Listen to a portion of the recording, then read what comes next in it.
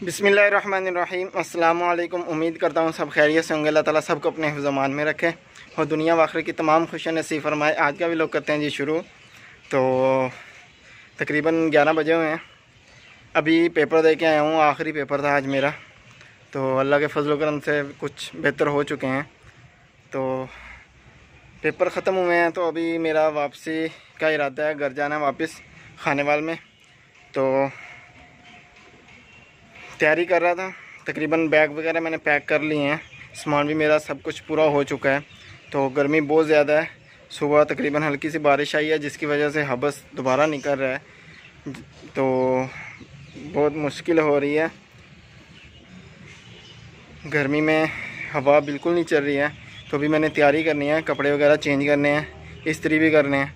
पहले तो इस्त्री करते हैं, फिर उसके बाद चेंज करेंगे तो तो आज का सफ़र हमारा यही होगा, खाने वाल का।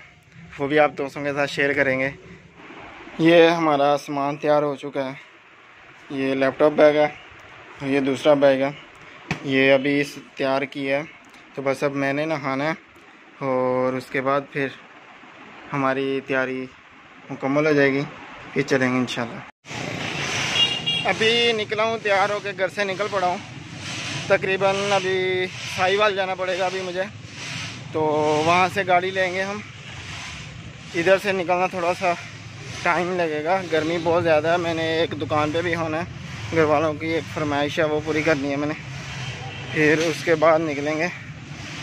तो अभी बस इधर से कोई रक्षा वगैरह पकड़ते हैं। फिर बाईपास पे पहुँचते हैं। अभी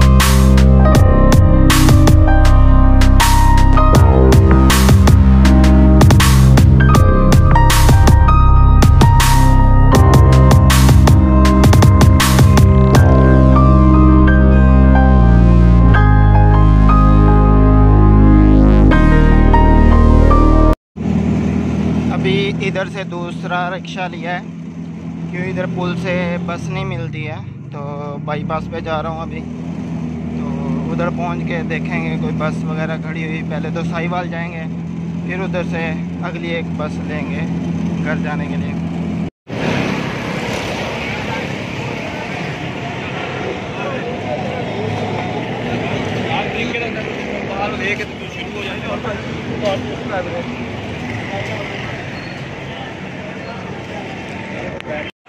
गाड़ी को आधा घंटा लेट है अभी। तकरीबन डेढ़ बजे आएगी। वेटिंग रूम में बैठा हूँ मैं अभी। गर्मी बहुत ज़्यादा है। अभी गाड़ी में बैठा हूँ, चली नहीं है अभी। पाँच से दस मिनट लगेंगे चलने में। अभी उतरा हूँ गाड़ी से तो साढ़े तीन का टाइम हुआ है अभी। दो से ढाई घंटे लगे हैं मुझे इधर पहुँचने में।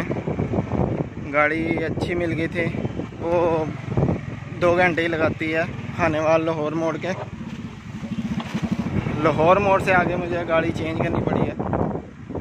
तो अभी बाइक आई है, घर जा रहा हूँ अभी बाइक पे। तकरीबन पाँच के मिनट लगेंगे घर पहुँचने में। इतनी तो बारिश आई थी। है? नहीं आई। उतनी सुबह आई सी ਉਹਦੀ ਵਜ੍ਹਾ ਗਰਮੀ ਕਾਫੀ ਸੀ ਇੱਥੇ ਇੱਥੇ ਤਾਂ ਹਵਾ ਚੱਲਦੀ ਪਈ ਮਜ਼ੇ ਦੀ कल उत्थे भी दो दिन काफ़ी टिका के गर्मी पई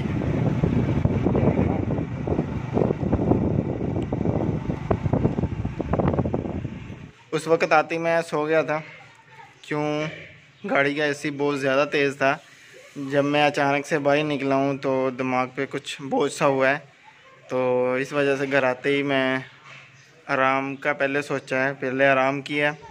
तो अभी असर की नमाज़ पढ़ी है मैंने।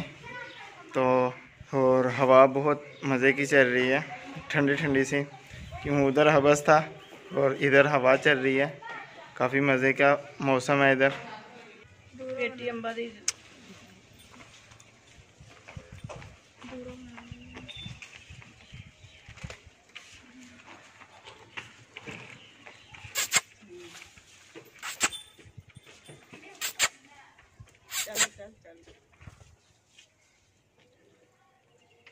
ये देखें, बादल हो रहे हैं और हवा भी अभी ठंडी ठंडी सी चल रही है। लगता है कहीं आसपास बारिश हुई है, ये देखें। काफ़ी बादल आ रहे हैं अभी। तो मौसम बड़ा प्यारा हो रहा है। नहीं तो सुबह से काफ़ी गर्मी बर्दाश्त की है।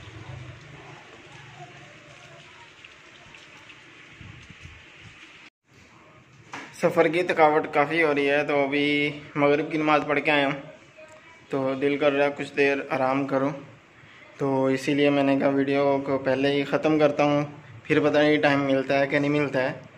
तो इसीलिए आज की वीडियो को हम इधर ही ख़त्म करते हैं। अच्छी लगी हो तो लाइक शेयर ज़रूर करिएगा और कमेंट करके बताइएगा कि आज का वीडियो कैसा लगा है। और मेरे चैनल को सब्सक्राइब करिएगा इंस्टाग्राम पे फॉलो करिएगा। और अपने भाई को दुआओं में याद रखिएगा अगली वीडियो तक के लिए इजाज़त और बहुत सारा प्यार। अल्लाह हाफिज़।